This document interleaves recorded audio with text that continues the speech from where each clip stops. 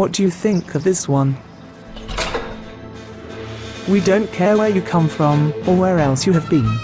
If you're a man or a woman or anything in between, about your sexual orientation or the color of your skin, whether you've been good and pious or wallowing in sin, for the evil alliance be what you want to be, because we hate everyone equally.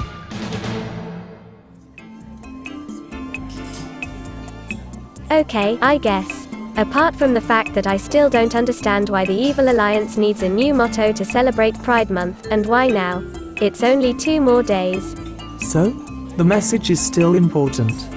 People have to know that I hate every single one of them in all other months of the year as well. But what makes you think this has anything to do with Pride Month at all? So you're going to tell me it's nothing but a coincidence that you came up with this new motto about equality in June, shortly after meeting a gay merman that you want your son to marry? Why do you keep insisting that this is a new motto? New implies that there was an old motto at some point, but I've never had one before. Because you never needed one, and you don't need one now either. How about you start your own criminal organization, and then we'll talk again. But don't even think about recruiting Leviathan, he's my new spy. Only if Tiamo can ever get him to dress properly. How about this shirt? I don't know. It's not my style. Nothing in this shop is. And this outfit you gave me is nice, but looks better on you. Why can't I just wear my own clothes? Because you barely have any, and as much as I regret this, the citizens of Windenburg aren't used to half naked guys walking around in public. If the mayor catches you in your usual getup, she'll offer you a role in her next porn movie. What's a porn movie? A movie about the stuff we usually do in private. And sometimes in the communal shower of a public gym. Why would anyone make a movie about something like that? No idea, ask the guy who filmed us and put us on YouTube. Our video had half a million views the last time I checked, and Loki is still in need of psychotherapy after seeing it. This is such a strange society. I've only been here for a couple of days and I already miss my home. But we couldn't just leave you there. You see, bringing back living souvenirs from every place we visit has become a family tradition of sorts. First Grande and later Ted Roswell from Strangerville, then Loki from the future, now you from Sulani. Perhaps we'll travel to Sixam next and adopt an alien baby there.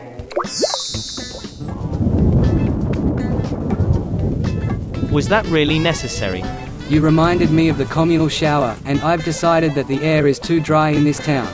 If I can't wear my own clothes, at least let me have a little fun. Leviathan doesn't seem very happy. He should be happy to still be alive. Thankfully, the sea hag hasn't been bothering us since we left Sulani, even though we stole her precious conch shell on our way out. Exactly, he can't go back now.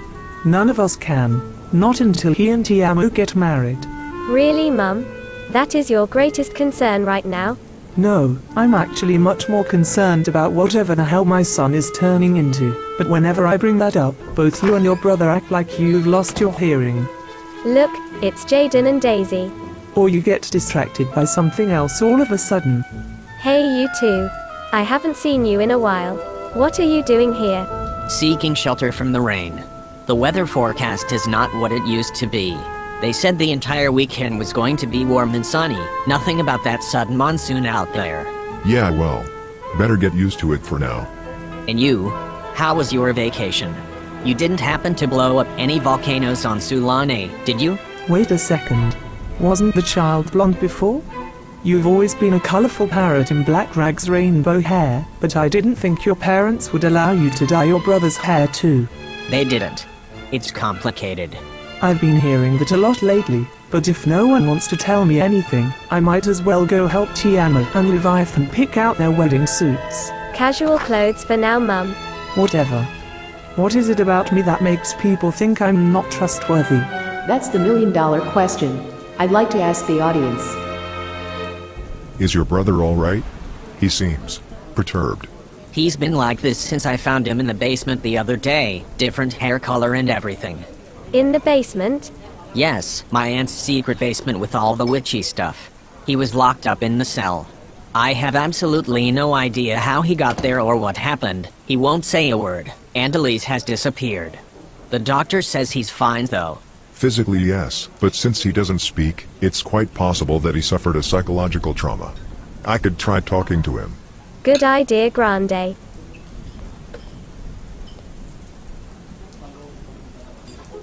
Jayden. I can't help you with Daisy, but there is something about Elise that you should know. Are you really sure about this? We're just shopping for clothes, Lev, not talking to some pesky phone salesperson. We don't have to buy anything you don't like, but you should try it on first. If you say so. So far so good. Now we have time to talk. No, we don't. If this is about that fantasy wedding again, What happened to you back at the Apostles' Church when you were fighting that angel? you're never going to live it down, are you? On our trip to the future, when I found the forbidden tree, I was attacked by an insane vampire much stronger than me. I only survived by eating a fruit from the tree. You know, that fruit turns ordinary mortals into vampires, but people who already are vampires shouldn't eat it.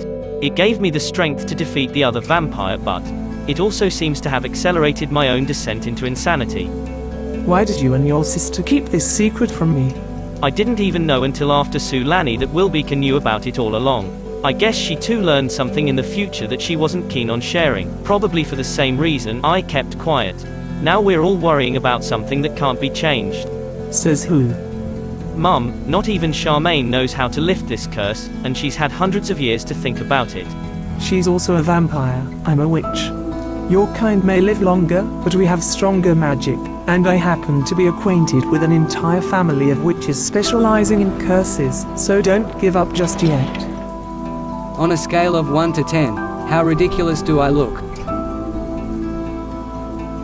Like a completely ordinary citizen of Windenburg in summer. Once more for the record, Elise was punished for a crime she committed on that island, but you don't know what that crime was, if it had anything to do with Daisy's condition, or where she is now. That's all we know? Unfortunately, yes. I thought I should tell you anyway, so we can come up with an excuse for your parents until we figure out how to get her back. What is a guardian charm? Huh? How do you know about that? Bitch just thought about it. It's a spell to teleport yourself to another person's location, but it requires the blood of that person, and I don't suppose you have a sample of your aunt's blood just lying around somewhere. But you have her sister. Assuming they share the same father and mother, shouldn't their blood also be more or less the same? And even if it worked, since we don't know where she is and why she can't get out, we might just end up trapping ourselves there too. Good point. What about the reverse familiar summoning spell that Loki used on me to get you out of the sea hag's clutches? Reverse familiar summoning spell? If that one requires a familiar, I think I saw Elise's black hole floating around in her basement when I found Daisy there. I wasn't present when Loki cast that spell, so I don't know how it works, but we could ask him. Excellent idea, bitch. I'm your phone a friend lifeline. If you need anything, just call.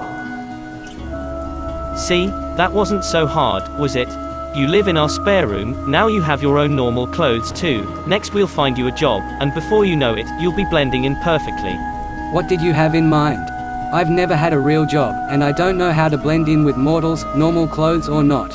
The magic realm is currently restructuring and opening its gates to occults other than witches. Perhaps they could use a merman. Did you get anyone on the phone, Mum? Yes, Purple Shrek. She thought it was a prank call at first, but softened up a little when I told her that it's about you. To be clear, she still thinks I might try to prank her later, and maybe I will, but at least we're officially invited to the Popescu's mansion tonight. I will also use this opportunity to sell them some of my death flowers. Where are Wilbica and Grande? If you mean the precocious little girl with the weird looking dog and her gentle giant bodyguard, they just left. Without paying. That's my girl. I've seen you before. Aren't you one of Nate's brothers? I have an older brother called Nate, yes. And aren't you two the couple from the communal shower video? We should go. Who's going to pay the bill now? We already paid for clothes today, so don't push your luck. But,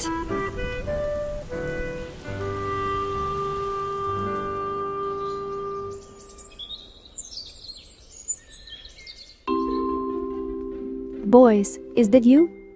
Um. Yes, Mom. What is it?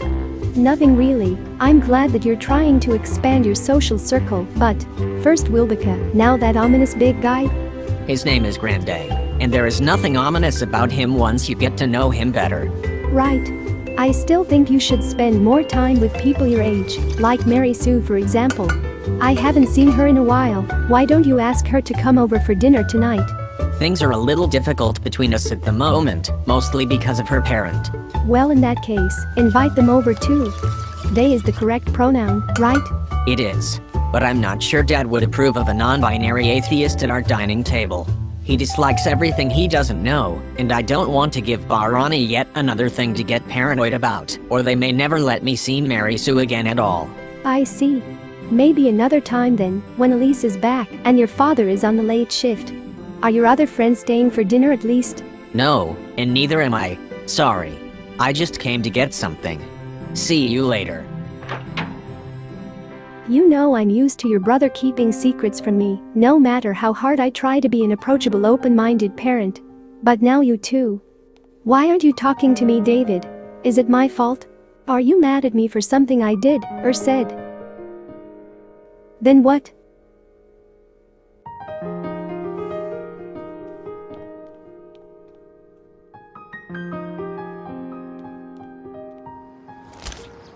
Did you get anything out of Daisy? I tried what I could to get him to talk, but to no avail. All I can tell for sure is that he's showing signs of PTSD, not unlike you after your trip to the future, but even more severe. I want to figure it out, but it will require some patience. There's no point in pushing him. He gets traumatized at the same time as Elise disappears, and no one in his family knows why. There has to be some connection. One more reason to find Elise soon, then she can tell us what happened. I've got it. What's up next? Meeting Loki in the magic realm. Good God. What for heaven's sake is that?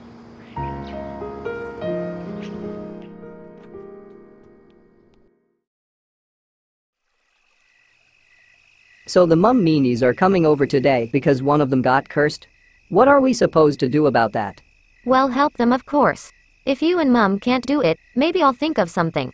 High Priestess Damaris said I'm the best student of moon magic that she's had in a long time. Congratulations, Lumi, but you do realize that's not how curses work, right? There are multiple ways to lift one, like killing the person who cursed you, accomplishing specific tasks set by that person, or simply waiting it out. But the point is, it's something you have to do yourself. No one else can remove a curse from you, not even with moon magic, at least if we're dealing with the kind of curse that I think we're dealing with in this case. You just don't want to help because you're afraid of running into Tiamo again. But we're about to find out what kind of curse it is. I'll go get Mum.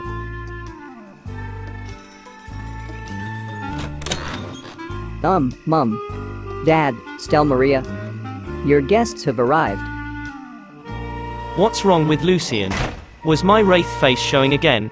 I think it has more to do with whatever happened between you and him at the Foxbury dorm. He's a Popescu after all. We never forget anything. Good to see you, Stelmaria. Yes, indeed. After being verbally attacked by an angry blue Shrek for not believing in her false god, and physically by a mob of green Shreks for no reason at all, seeing my good old purple Shrek again has never felt better. Did you really have to come along? I thought this was about Tiamo. Mum, we need her help, so this is not the time to insult her. Insult her? Is your curse affecting your hearing by any chance? I just told her that I like her better than Shannon and those monstrosities from the Lost Valley. Yeah, what an honor. Can't believe she didn't leap into your arms right away. My thoughts exactly.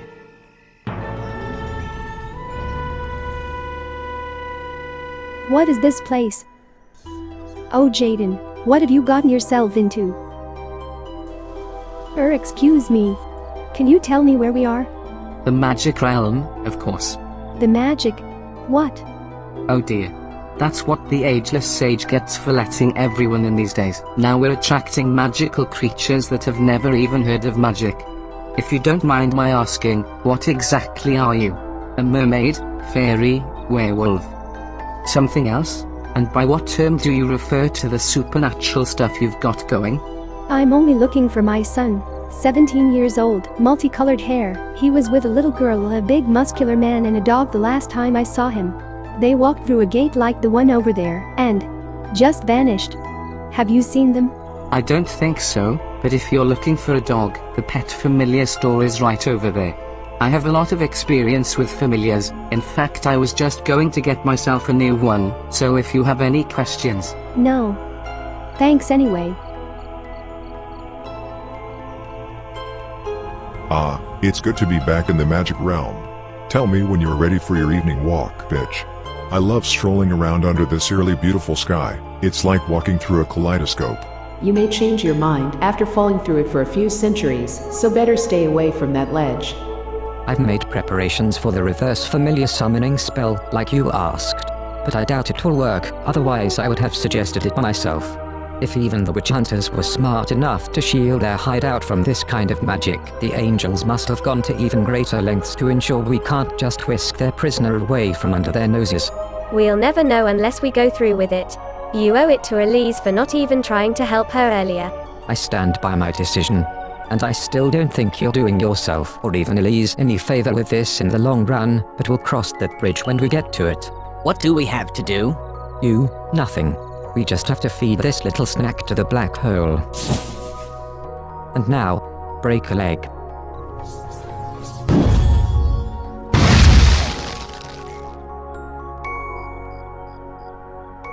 What was that?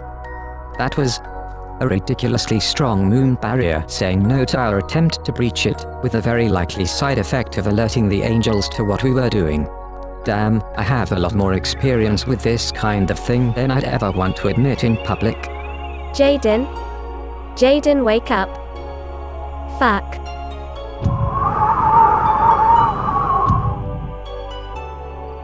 Are you okay? Yep, I think so. Even though. Ouch. Too bad it was all for nothing. But it wasn't. I had. A vision, I believe. A vision of where my aunt could be. What's going on? Mon?